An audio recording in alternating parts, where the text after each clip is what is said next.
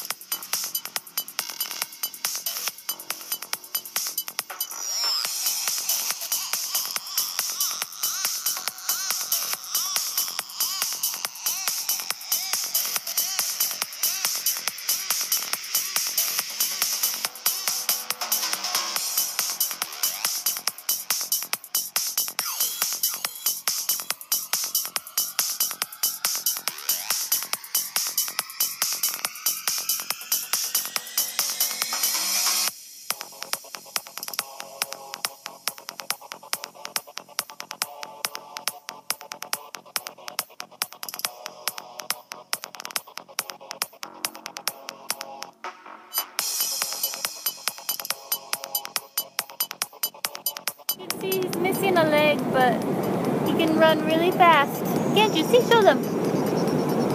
Look at him. Totally cool.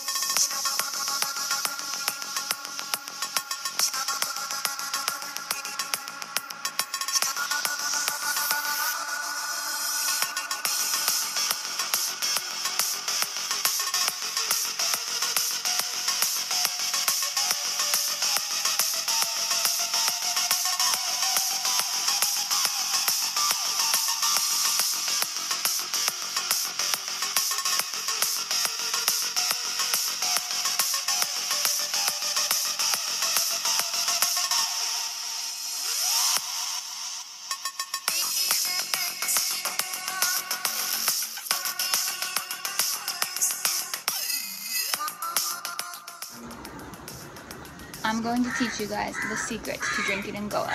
They have a beer here called Kingfisher. Kingfisher beer on the beach. It's very cheap. It's about a dollar for the 5% one or a dollar 10 for an 8% Kingfisher. But it is a very light beer. It tastes like piss water, Bud Light equivalent. No, it's very tasty. I've spent a lot of time in Belgium. I like amber and dark beers with a full body and flavor and you're just not going to find a good beer in Goa. However, if you want to drink and you want it to be enjoyable, I would recommend this rum.